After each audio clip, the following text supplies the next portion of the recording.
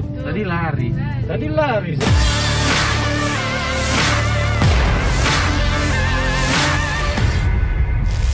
Polisi menyelidiki video seorang pria yang diduga hendak memeras pengendara mobil dengan modus pura-pura tertabrak. Video tersebut diunggah dan viral di media sosial pada Jumat tanggal 28 Januari tahun 2022. Peristiwa tersebut terjadi di kawasan Pasar Rebo, Jakarta Timur. Kini polisi memburu pria yang diduga berupaya memeras pengendara mobil dengan modus minta pertanggungjawaban sebagai korban tabrakan di Pasar Rebo, Jakarta Timur. Kapolsek Pasar Rebo Komisaris Marbun mengatakan peristiwa tersebut terjadi pada di depan Plaza PP, Condet, Jaktim, Rabu lalu dan sampai saat ini polisi masih menyelidiki keberadaan pelaku. Ini masih kami selidiki, kata Marbun, Sabtu tanggal 29 Januari. Netizen ramai membahas video pria yang mengaku ditabrak mobil dan meminta ganti rugi. Pengendara mobil diminta berhati-hati dengan modus seperti ini di jalan.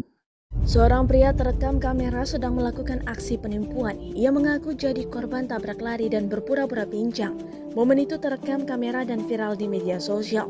Diunggah salah satunya akun Instagram at underscore owner underscore Indonesia pada Jumat 29 Januari 2022. Di video, terlihat si perekam mengambil gambar dari dalam mobil yang dikejar oleh pelaku penipuan. Parahnya, pria itu berusaha mengejar sambil berteriak dan menyebut kata maling.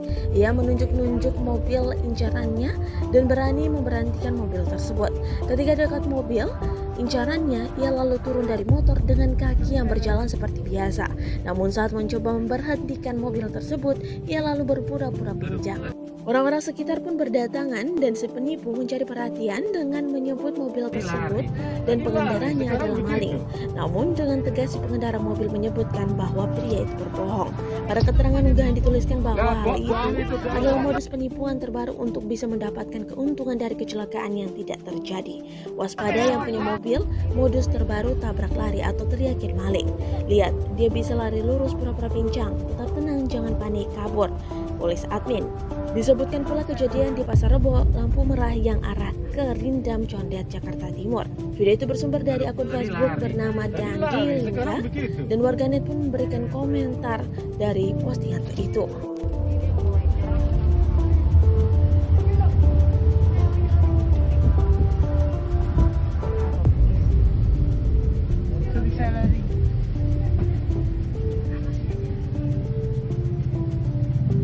Tadi lari. Tadi lari.